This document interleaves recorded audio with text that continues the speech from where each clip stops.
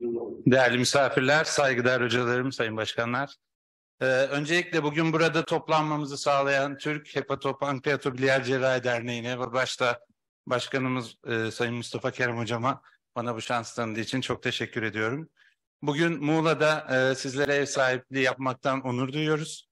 Bu süreçte desteğini hiç esirgemeyen Sayın Dekanımız Haşim Hocama e, çok teşekkür ederim ve son olarak bir teşekkürü de son beş yıldır her konuda bana destek olan, her zaman yanında yanımda olan abim, e, Muğla Tıp'ta hepatobiliyer cerrahinin öncüsü olan Sayın Önder Özcan hocama borçluyum.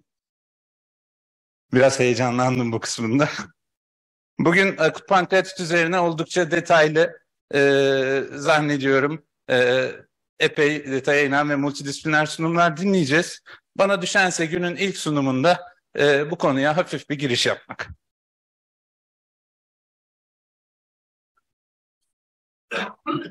ben ilerleyemiyorum buradan. Tanımla başlayalım. Pankreas enzimlerinin pankreas dokusuna zarar verdiği ve bezin yanı sıra uzak organ ve sistemleri de etkileyen e, pankreasın oto sindirimi akut pankreatit. Sıklık durumuna baktığımızda yaklaşık 300 milyon kişilik bir popülasyonu araştıran iyi bir metaanaliz var elimizde. Ona göre e, yaklaşık yılda 100 bin nüfusa 34 vaka karşımıza geliyor. Bunlardan 1.6 kadar da mortalite ile 1.16 kadar da mortalite ile sonuçlanıyor. Akut pankreatit olan hastaların yaklaşık %2'sinin mortalite ile sonuçlandığını biliyoruz. Tekrarlayan ataklarda ise bu oran %1'in altına iniyor. Yaşla dağılımına baktığımızda yaşla artan bir e, sıklık söz konusu. Genç yaşlarda kadın erkek eşitliği daha e, belirginken yaş ilerledikçe erkek aleyhine bir bozulma görüyoruz. Sıklıkla ilgili dikkatinizi çekmek istediğim bir nokta şu. E, 2000'lerde yapılan yayınlara baktığımızda diyorlar ki son 10 yılda akut pankreatit %20 arttı. Sonra 2010 yayınlarına geldiğimizde akut pankreatit son 10 yılda %50 arttı demeler başlıyor. Günümüzdeki yayınlara geldiğimizde ise artık bu sayı %100'lere yaklaşmış durumda. Ciddi bir artış hızı var. Ee, yine geniş bir meta analiz. Bakın e, Amerika, Brezilya, Avustralya, Alaska ve Kuzey Avrupa ülkelerinde her yıl akut pankreatit hızındaki artışın yüzde üçten daha fazla olduğu ülkeler. Yine bu çalışmada kadın erkek arasında belirgin bir fark olmadığı gösterilmiş. Etiyolojik faktörler olarak da safra taşı ve alkol başa baş görülmüş. Mortalite %2 civarında demiştik. Bu %2 daha çok hangi hastalar? Tabii ki şiddetli akut pankreatit hastaları. Aynı zamanda bu hastalarda diyabet ve obezite başta olmak üzere e, komorbiditeler mevcut ve yine hastaneye yattıktan sonra herhangi bir şekilde hastane enfeksiyonu olan hastalar mortalite grubuna girmeye daha yatkın. Akut pankreatitin patofizyolojisinden biraz bahsedeceğim. Önce bir fizyolojisini kısaca gözden geçirmek istedim. Aslında klasik bir ektopi, e, egzokrin bez e, or, organizasyonu söz konusu. Asinir hücreler salgısını yapıyor ve bir keseciye aktarıyor. Oradan da duktal hücrelerle çevrili bir kanaldan e, bu e, enzimler duodenuma ulaşıyor. E, ne farklarımız var diğer bezlerle? Bir farkımız şu, e, pankreasta lizozomal enzimlerle sindirim granülleri yani sindirim enzimlerini içeren e, granüller ayrı değil diğer egzokrin bezlerde olduğu gibi. Yani lizozomal yani hücrenin yok edici enzimleriyle sindirim için kullanılacak olan enzimler aynı granüllerde duruyor. Peki nasıl idare ediyorlar birbirleriyle veya nasıl oluyor? Hepinizin bildiği gibi inaktif formunda duruyor sindirim enzimleri özellikle tripsinojen. E, bu aktivasyon hücre içinde olabilir mi?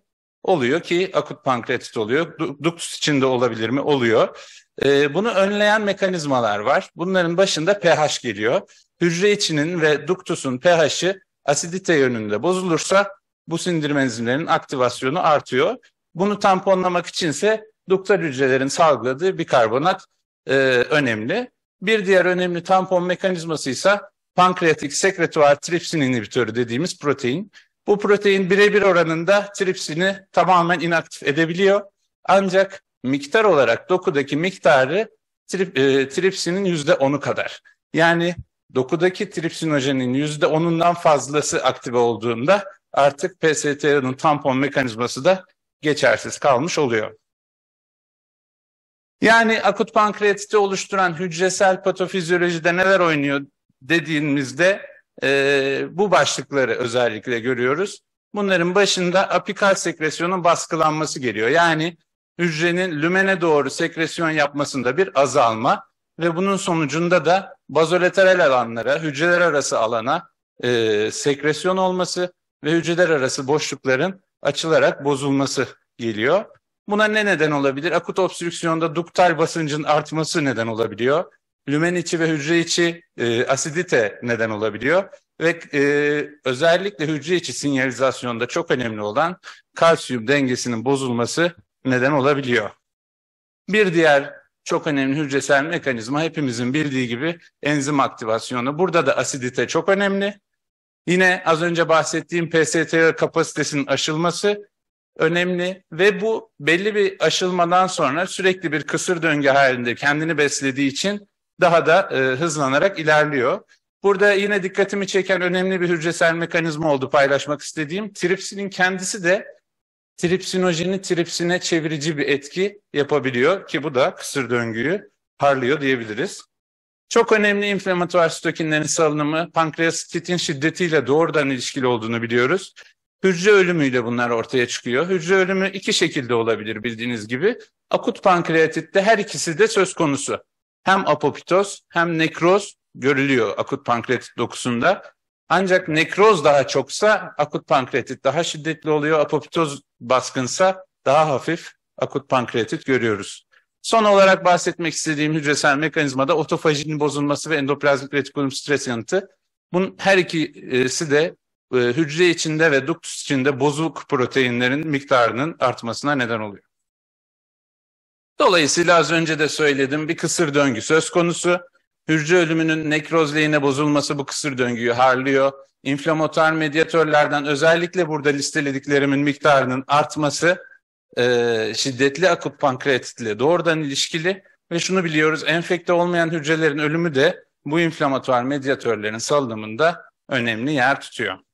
Gelelim nedenselliğe, klasik etiyolojik yaklaşımımıza. Bildiğiniz gibi safra taşları akut pankreatitin en sık karşılaştığımız nedeni yaklaşık yüzde kırkından sorumlu. Akut obstrüksiyonla buna neden olduğunu biliyoruz. Ee, şu soru akla gelebilir. Acaba yavaş yavaş kapandığında duktal kanal neden yine akut pankreatit olmuyor? Yani kronik obstrüksiyonlarda neden olmuyor? Ee, buna şöyle bir yanıt veriliyor, teorize ediliyor. Pankreasın gelişkin bir vasküler adaptasyon mekanizması var. Duktal basınç yavaş yavaş yükseldiği zaman pankreas gerekli e, adaptasyonu sağlayarak o basıncı zamanla düşürerek devam edebiliyor. Etiyolojide bir diğer önemli neden de alkol. Yalnız alkol dememek lazım. Düzenli uzun süre aşırı alkol kullanımı demek lazım bence. Yaklaşık %30'undan sorumlu tüm akut pankreatitlerin. Bu düzenli uzun süreyi e, de şöyle standartize etmişler. 5 yıldan uzun süredir günde 4-5'ten fazla alkol kullanımı. Bu hastalarda yaşam boyu akut pankreatit riski %2 ile 5 arasında.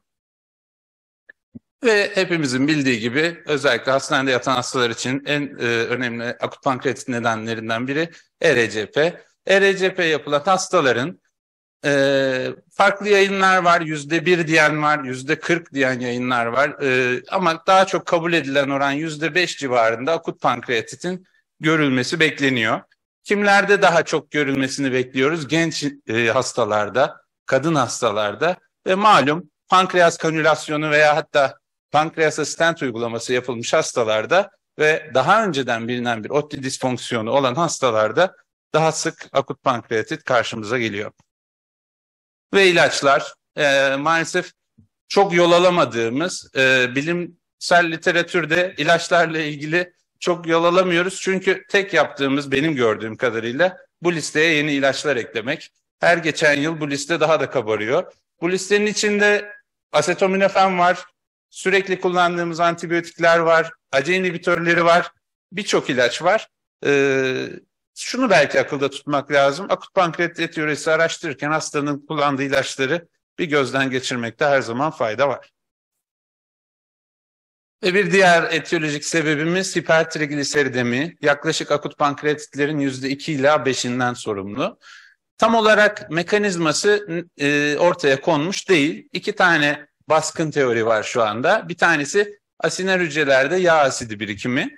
Diğeri ise e, bu yağ asidlerin duktuslarda solit tıkaç oluşturması e, şeklinde teorize ediliyor. Akut pankreatit etiyorisinde uzun süre çok farkına varılmamış ancak şu an iyi bilinen bir de genetik etkiler var. Ee, burada bir kısmını listelediğim genler gerek tripsinojenin tripsine e, dönüşmesini gerek e, hücreler arası sıkı bağlantıların bozulup bozulmayacağını e, az, ya da az önce hücresel mekanizmada bahsettiğim tüm basamakları herhangi bir aşamada etkiliyor olabiliyor. Ve doğrudan eğer kişide bu genlerden biri polimorfik olarak bozuksa akut pankreatit sebebi olabiliyor. Tabii adını koyamadığımız grup var idiopatik akut pankreatit. Bu hastalar incelendiğinde belirgin bir şekilde diyabetin, obezitenin ve sigara kullanımının hakim olduğunu görüyoruz. Daha nadir akut pankreatit sebepleri arasında ise pankreas travmaları var, geçirilmiş cerrahiler var, viral enfeksiyonlar var, hepinizin çok iyi bildiği otoimmün pankreatitler var ve duodenumda obstrüksiyonla seyredebilen bazı bağırsak hastalıkları oldukça nadir olarak akut pankreatite neden olabiliyor. Burada bir parantez açmak istiyorum. Literatürde e, OTTI disfonksiyonu ve pankreas divizumun akut pankreatite neden olup olmadığı ile ilgili halen süren bir tartışma var. E, doğrudan neden olduğunu kanıtladık diyen yazılar da var. Bizde olmadığını kanıtladık diyen yazılar hala var. Şu an e, tam olarak bu konuda net bir şey söylemek e, çok mümkün değil gibi geldi bana. Hepinizin bildiği bir hipotez var. Ondan da bahsetmeden geçmek istemedim. Tuhit hipotezi. E, bu hipotez diyor ki akut pankreatitin klinik tablosunun oluşabilmesi için tek bir olay yeterli değil. Genellikle iki aşamalı bir olay olması gerekiyor. Genellikle birinci aşamada sindirim enzimlerinin aktif olması, ikinci aşamada ise olayın klinik bir tabloya dönüşmesini sağlayacak bir oksidatif stresin oluşması gerekiyor. Genellikle birinci olayı az önce bahsettiğim etiyolojik sebeplerdeki mekanik olanlar e, tetiklerken ikinci nedeni oksidatif stresi arttırabilecek hafif bir pnömoni olabilir, lokal bir enfeksiyon olabilir. E, bu az önce bahsettiğim hücresel mekanizmaları tetikleyecek herhangi bir olay sağlıyor. Son olarak klinikten kısaca bahsedeceğim e, ve sunumu yavaş yavaş sonlandıracağım. Tanı hepinizin bildiği gibi üç ayaklı olarak konuyor. E, hastada e, akut pankreatitle uyumlu şiddetli bir karın ağrısı olmasını bekliyoruz. Amilaz lipaz değerlerinin laboratuvar üst sınırının 3 katının üzerine çıkmasını bekliyoruz. Ve tabii ki bugün Ferda Hocam detaylı bahsedecek. Bilgisayar tomografi tanı da bizim için çok kıymetli. Bu üçünden iki tanesini bulduğumuzda akut pankreatittir diyebiliyoruz. Ama işimiz bitmiyor. Şiddet değerlendirmesi oldukça önemli. Orta ve ağır şiddetteki akut pankreatitlerde lokal ve sistemik komplikasyonlar olabiliyor. Hepimiz çok iyi biliyoruz.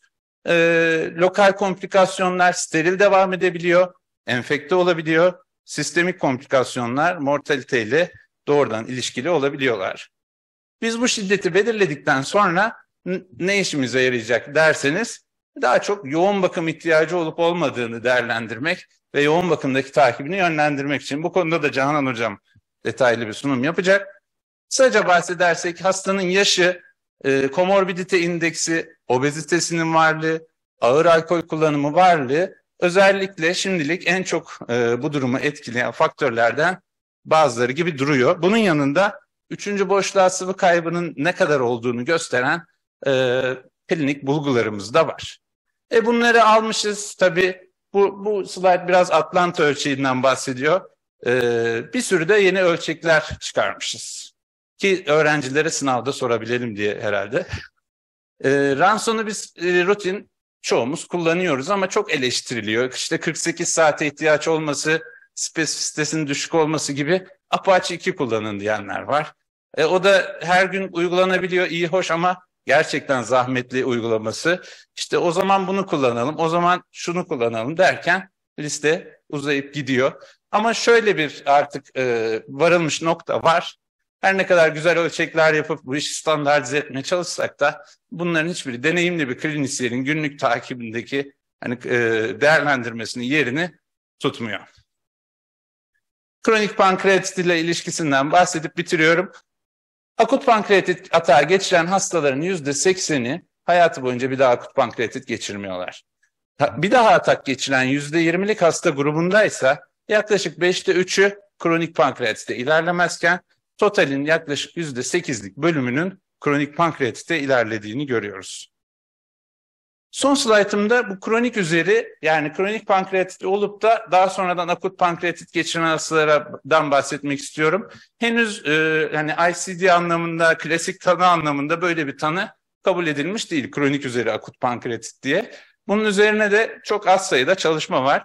Bu çalışmalardan şimdilik elde edilen sonuçlardan en önemlileri erkeklerde bunun daha sık olduğunu biliyoruz ve her zaman e, daha önceden de söylediğim gibi tekrarlayan ataklarda akut pankreatit şiddetinin giderek hafiflediğini ve mortalitenin giderek azaldığını görüyoruz.